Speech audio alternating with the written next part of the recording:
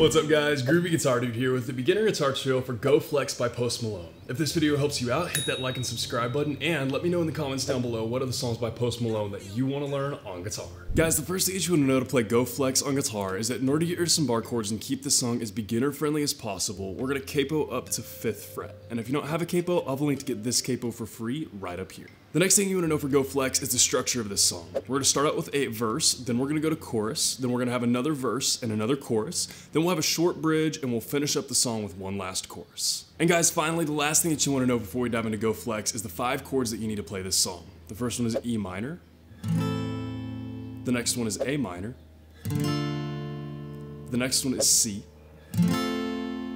the next one is G, and the last one is F major 7. And I'll have chord charts for all of those in the pinned comment below for those of you who need them. And guys, with all that in mind, let's dive into Go Flex. Uh, guys, I've gotten so many requests for this song. This is an older Post Malone song, so I've gotten requests for it for quite a long time. And I was just listening to it the other day and I was like, how have I not taught this song yet? It's a perfect one for beginner guitarists. It's a lot of fun. Again, I know a lot of you guys out there have been requesting it, so I'm stoked to finally get to it. So, with that in mind, guys, the first thing we're going to take a look at is the first thing that we hear in the song, which is our verses. For our verses, we're just going to have a simple chord progression and a simple strum pattern to go along with it. Our chord progression for our verses is going to be F major 7, C, G, and A minor. And that's just gonna repeat through all of our verses. So let's break this strum pattern down. We're gonna use our F major 7 as our example here because it's our first chord in the song. So what we're gonna do for this strum pattern is we're gonna have a series of seven down strums followed by a down up. Now you'll notice that some of those downstrums there in that series are smaller than the other downstrums. All that means is that we're going to play those small downstrums a little softer than the full-sized big downstrums. What that actually looks like is this. We're going to have a big downstrum is going to be about like a pretty full normal strum, about like that. And then the smaller strums are just going to be about like just a little softer. So what that actually looks like in practice is about like this. We'll go one, two, three, four, five, six, seven, and then we have that down up at the very end. So if you notice, it kind of alternates between those bigger strums and the smaller strums, and it gives us that perfect little sound. And I like it a lot. It sounds really good to kind of mix it up like this. It sounds very accurate to the song. It's definitely what Post is doing when he plays this live. So again, guys, starting with that F major 7, let's walk through this whole progression. We're to go down, down, down, down, down, down, down, down, up, down, down, down, down, down, down, down, down, up, down, down, down, down, down, down, down, down, up, down, down, down, down, down, down, down, up. Just about like that, repeated through all of our verses. So like I said, guys, nothing too crazy here, just a fairly simple chord progression with a fairly simple strum pattern to go along with it, repeated through all of our verses. So with that in mind, guys, a couple of times to that verse, chord progression, and strum pattern without me talking will look about like this.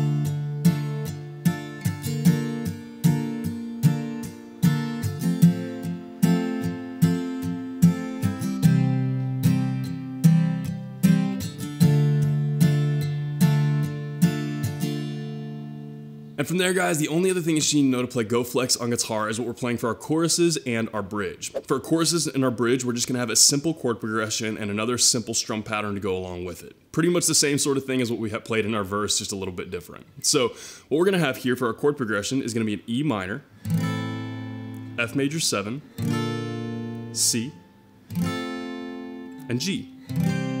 Repeated through all of our choruses and our bridge, just like that.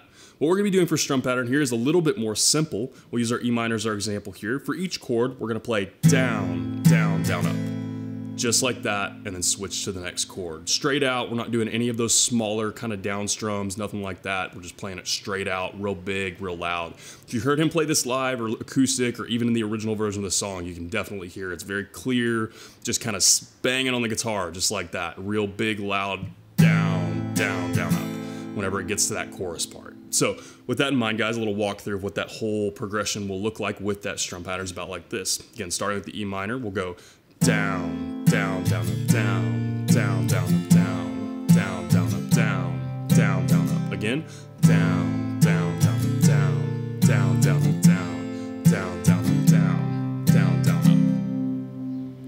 And that right there is going to repeat through all of our choruses and our bridge for the song. And that is the only other thing you need to know to play this song. It's a pretty quick and easy one to learn. And again, this will match up exactly with what Post is playing on guitar. So with all that in mind, guys, a couple of times through that chord progression and strum pattern, it's gonna repeat through all of our choruses and our bridge on Go Flex will look about like this without me talking.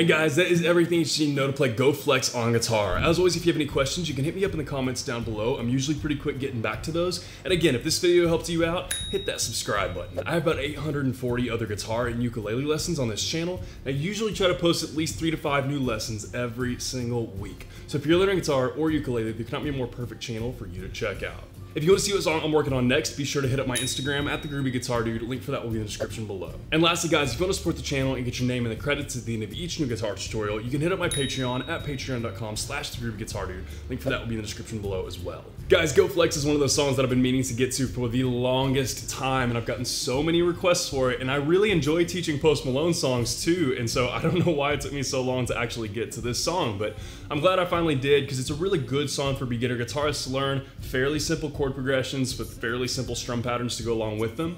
And yeah, it's just a cool song. I love teaching Post Malone songs. I listen to his music a fair bit. Like he's not an artist I listen to all the time, but I do get in these vibes where I just love listening to Post Malone. It's he's like all I want to listen to.